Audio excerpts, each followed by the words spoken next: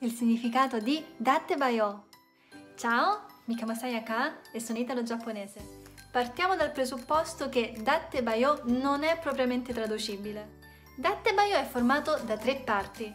Da è una forma del verbo essere che avrete spesso sentito nella forma cortese des.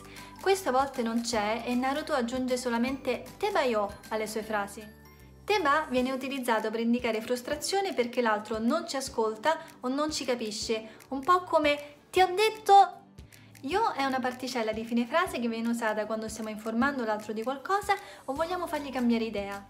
Questa combinazione di Teba e Yo non è presente nel giapponese reale, ma è stata creata per rendere il personaggio di Naruto unico, tanto da ricordarlo per l'espressione stessa. Qualcosa di simile è stato fatto con Ramu, che finiva molte sue frasi con cha, senza che questo aggiungesse nulla alle sue frasi. Chi l'ha vista in lingua originale magari lo ha notato. Prendendo ad esempio una frase di Naruto So datte che significa sì è così, togliendo il teba otteniamo so dayo, il cui significato rimane lo stesso, ma è formulato in un giapponese reale.